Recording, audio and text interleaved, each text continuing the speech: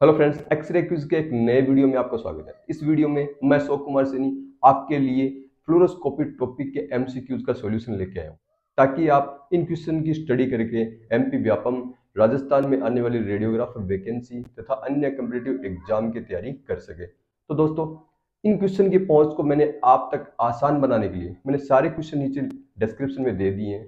तथा मैंने इनका टाइम स्टैम्प भी दे दिया है, ताकि आप इंडिविजुअल क्वेश्चन पर क्लिक करके आप उसी पोर्शन को देख सकें जो आप चाहते हैं। दोस्तों, अगर आप भी ये टेस्ट सीरीज़ देना चाहते हैं तो इसका लिंक नीचे मैंने डिस्क्रिप्शन में दे दिया है, जिस पर क्लिक कर कर आप ये टेस्ट सीरीज़ ज्वाइन कर सकते हैं, तथा अपने रेडियोलॉजी के नॉलेज को और ज़्यादा बढ़ा सकते हैं। तो चलिए चलते हैं हम टॉपिक की ओर। आज के जो फ्लोरोस्कोपी के दस क्वेश्चन दिए गए हैं, उसमें सबसे पहला क्वेश्चन है During fluoroscopy, releasing the pressure applied to the pedal or switch terminates the radiation exposure and known as the देखिए फ्लोरोस्कोपी के दौरान जो एक स्विच होता है या पेडल होता है जिस पर हम प्रेशर डालते हैं जिससे एक्सपोज होता है और प्रेशर रिलीज़ करते ही एक्सपोजर टर्मिनेट हो जाता है उस स्विच को कहा क्या कहा जाता है? तो उस स्विच को डेडमैन स्विच कहा जाता है। यहाँ पे आप ऑप्शन डी देख सकते हो जिसमें ऑप्शन डी के अंदर डेडमैन स्विच दिया हुआ है ये इसका आंसर होगा। क्वेश्चन नंबर दो। A brightness gain 40,000 would have a conversion factor हो देखिए अगर किसी इमेज इंटेंसिफायर का जो जो ब्राइटनेस गेन है अगर ये 40,000 हो उसका कन्वर्जन फैक्टर क्या होगा? देखिए मैंने आपको बताया था कि जो ब्राइटनेस गेन जो कन्वर्जन फैक्टर है ये कन्वर्जन फैक्टर ब्राइटनेस गेन का कितना होता है? वन परसेंट होता है। कितना होता है? One percent of brightness gain तो ब्राइटनेस गेन कितना है? फोर्टी थाउज़ेंड है। इसका वन परसेंट कितना होगा? Four hundred. ये कितना होगा इसका? फोर फोर जो हंड्रेड इसका होगा। तो इसका आंसर हो जाएगा बी, जिसमें दिया हुआ है फोर हंड्रेड। नेक्स्ट क्वेश्चन है। Image intensifier gain increases with the increasing देखो इमेज इंटेंसिफायर गेन है, वो किसको बढ़ाने से बढ़ेगा? देखिए, सबसे पहले अगर हम देखें, जो इमेज इंटेंसिफायर का जो ब्राइटनेस गेन होता है ब्राइटनेस गेन है। ये ब्राइटनेस गेन क्या होता है? ये flux gain into minification gain का प्रोडक्ट होता है। Flux gain into minification gain का प्रोडक्ट होता है। यहाँ पे फ्लेक्स गेन क्या होता है? देखिए फ्लेक्स गेन अगर हम देखें फ्लेक्स गेन ये होता है जो आपका जो output light photon number of output light photon upon number of input light photon. जो इनपुट फोर्स पर आउटपुट फोर्स पर, पर लाइट फोटोन बनते हैं और जो इनपुट फोर्स पर लाइट फोटोन बनते हैं इनका जो रेशियो है वो फ्लक्स गेन कहलाता है। और मिनिफिकेशन गेन क्या होता है? अगर हम मिनिफिकेशन गेन को देखें तो जो आपने इमेज इंटेंसिफायर देखा था इस इमेज इंटेंसिफायर में क्या होता है? आउटपुट फोर्स पर का अलग डायमीटर होता है और इनपुट फोर्स पर का अलग डायमीटर होता है। ये इनपुट फोर्स पर है। और ये आउटपुट फोर्स पर है। तो इनका डायमीटर अलग अलग होता है।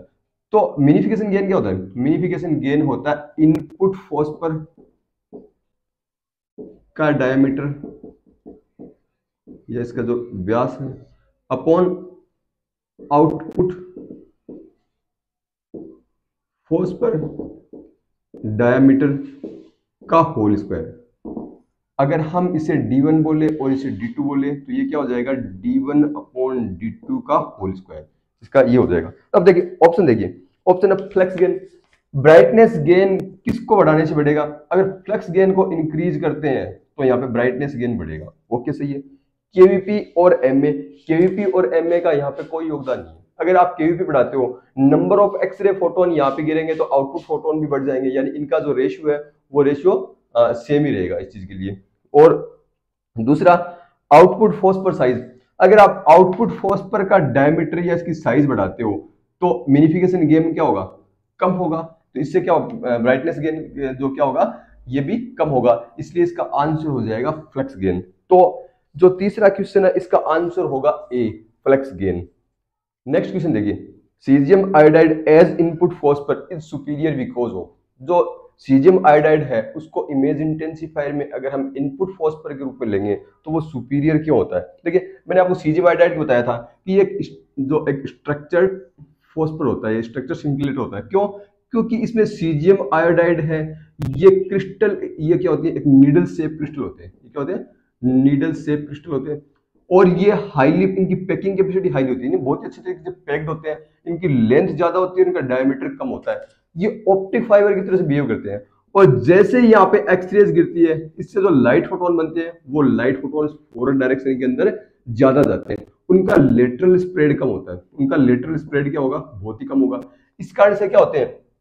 एक्सरेज एक्सरेज गिरेंगी जो लाइट फोटोन होगी, वो मोर फॉरवर्ड डायरेक्शन के अंदर जाएँगे। ज़्यादा फॉरवर्ड डायरेक्शन के अंदर जाएँगे। तो देखिए caesium iodide as input phosphor is superior because of first option है the vertical orientation of the crystal crystal का ओरिएंटेशन क्या है? ये एक नीडल्स के रूप में है। आप इसको, अगर सीधा करो तो वर्टिकली हो जाएगा। तो वर्टिकल इसका ओरिएंटेशन होता है। ग्रेटर पैकिंग कैपेसिटी, इनकी पैकिंग कैपेसिटी भी ग्रेटर है। यानी नीडल शेप होते हैं और एकदम से एकदम से पास आके ऑप्टिक फाइबर की तरह से ये नीडल्स बनाते हैं। A more favourable effective atomic number. देखिए सीजियम का एटॉमिक नंबर 55 होता है और आयोडीन का जो एटॉमिक नंबर है वो 53 होता है। ये रिलेटिवली हाई है। ये हाई है इस कारण से क्या होगा? एक्सरेज गिरेगी तो एक्सरेज का फ़ोटो इलेक्ट्रिक जो इंटरेक्शन है वो यहाँ पे ज़्यादा होगा। ज़्यादा एक्सरेज अटेन्यूएट होंगी और ज़्यादा एक्सरेज अटेन्यूएट होंगी तो क्या होगा? ज़्यादा जो इनपुट फोर्स पर, पर लाइट फोटोन क्रिएट होंगे जिससे इमेज इंटेंसिफायर की एफिशिएंसी भी बढ़ती है। फोर्थ ऑप्शन इसका ऑल ऑफ़ दी अबो तो इसका आंसर हो जाएगा ऑल ऑफ़ दी अबो जो सीजियम आयोडाइड क्रिस्टल है इसके अंदर ये सभी प्रॉपर्टीज़ पाई जाती है। फिफ्थ क्वेश्चन है the image intensifier tube work on the principle of image intensified tube होती है, जो इमेज इंटेंसिफाइड ट्यूब है, मैं आपको इसका डायग्राम बना देता हूँ। ये किस प्रिंसिपल पर काम करती है? देखिए, ये इसका इनपुट फोर्स पर हो गया। ये आउटपुट फोर्स पर है। तो जैसे ही इस पे एक्सरेज गिरती है, यहाँ पे जो सिंकुलेटर होता है, वो क्या करता है? वो इस एक्सरेज को इस लाइट फोटोन के अंदर कन्वर्ट कर देता है लाइट फोटोन में कन्वर्ट कर देता है। इनपुट फोर्स पर ग्रुप में मैंने आपको बताया था, यहाँ पे जो सिंकुलेटर सीजेमाइडेड जैसे काम में ले रहे हैं। तो ये क्या करता है, इसको लाइट फोटोन के अंदर कन्वर्ट कर देता है।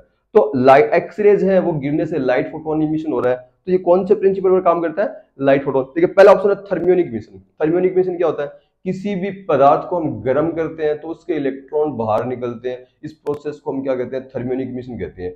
ये इमेज इंटेंसिफायर में काम नहीं लिया जाता। फ़ोटो इमिशन फ़ोटो इमिशन में भी होता है एक्सरेज डालते हैं तो सिंगलेटर पे तो क्या होगा? लाइट फोटोन क्रिएट होते हैं तो ये काम में लिया जाता है। मल्टीपल इंडेक्शन और नन ऑफ़ दी इसका आंसर हो जाएगा फ़ोटो इमिशन बी ऑप्शन हो जाएगा। सिक्स क्वेश्चन है।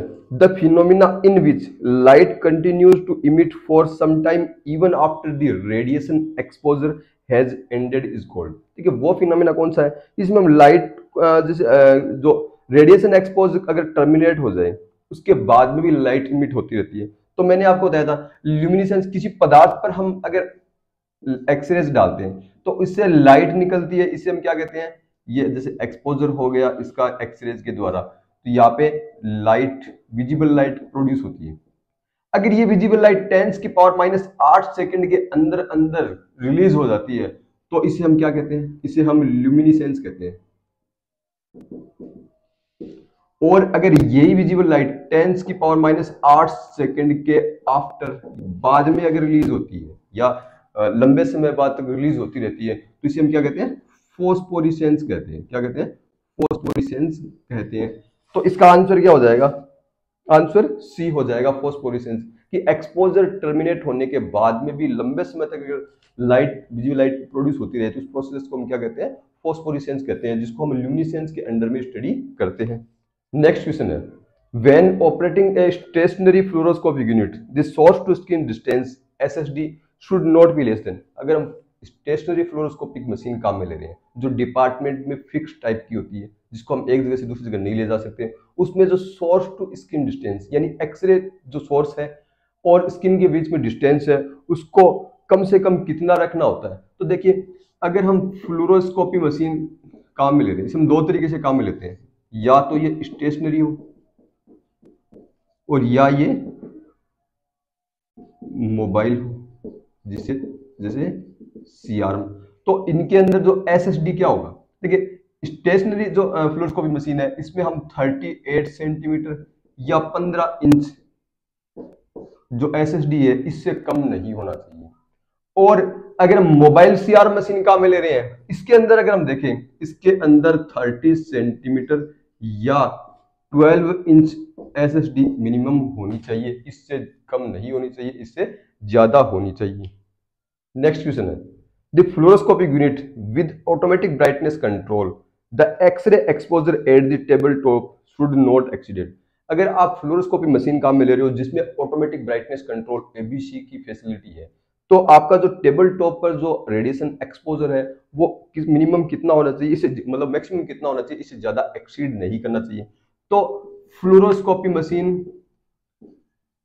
अगर आप with ABC automatic brightness control काम में ले रहे हो और without ABC automatic brightness control ले रहे हो तो एक्सपोजर क्या होना चाहिए exposure should be less than exposure क्या होना चाहिए? लेस देन होना चाहिए। कितने, किससे? और जो विद एबीसी है तो टेन रोन्जन पर मिनट और विदाउट जो एबीसी है उसके लिए टेन रोन्जन पर मिनट। इससे ज़्यादा रेडिएशन इससे ज़्यादा नहीं होना चाहिए। तो इसका ऑप्शन हो जाएगा डी टेन रोजन रोन्जन पर मिनट, क्योंकि इस फ्लोरोस्कोपी के अंदर क्या है? ऑटोमेटिक ब्राइटनेस कंट्रोल की फैसिलिटी दी हुई है। नेक्स्ट क्वेश्चन है।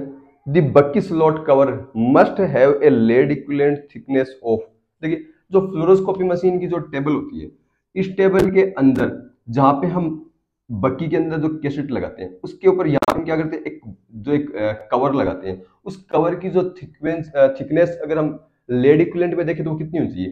तो ये इसकी thickness point two five M M lead equivalent होनी चाहिए। क्या होनी चाहिए लेड इक्विलेंट कितनी? 0.25 mm लेड इक्विवेलेंट इसकी थिकनेस होनी चाहिए। तो इसका जो क्वेश्चन नंबर इसका आंसर हो जाएगा बी। 0.25 mm लेड इक्विवेलेंट होगा। देखिए एक क्वेश्चन और है। Which of the following combination will reduce patient radiation exposure during fluoroscopy देखिए मैं आपको चीज़ बताना चाहता हूँ। देखिए फ्लोरोस्कोपी मशीन है। इस फ्लोरोस्कोपी को आप दो तरह से काम में ले सकते हो। कंटिन्यूस मोड पे और इसको पल्स मोड पर। क्या अंतर होता है इनमें? कंटिन्यूस मोड का मतलब होता है आपने एक्सपोजर दबाया तो एक्सरे रेडिएशन एक, साथ ही निकलता रहता है बीच में कोई भी उसमें इंटरवल नहीं होता एक कंटिन्यूस एक्सरेज निकलता है।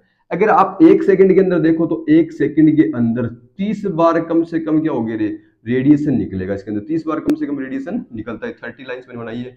ये एक सेकंड की टाइम लाइन है। यानी thirty F frame per second के हिसाब से क्या होती है? रिकॉर्डिंग होती है।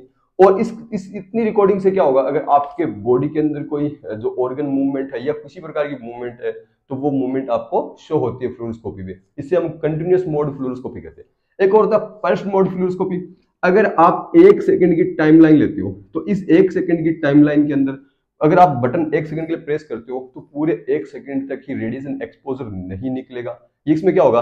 एक्सरेज जो पल्स के रूप में निकलता है। मान लो ये ये पल्स दो से लेके पंद्रह पल्स तक हो सकती है। मान लो ये सेवन या एट पल्स का है आपका जो है, ये आपने मतलब आप इसको मैनुअली सिलेक्ट करते, कर सकते हो, इतनी पल्स की होनी चाहिए। एट पल्स का है? तो एक सेकंड के अंदर क्या होगा? एट ही पल्स रेडिएशन की होगी। एट पल्स होंगी। और किन्हीं भी दो पल्स के बीच में रेडिएशन गैप होगा।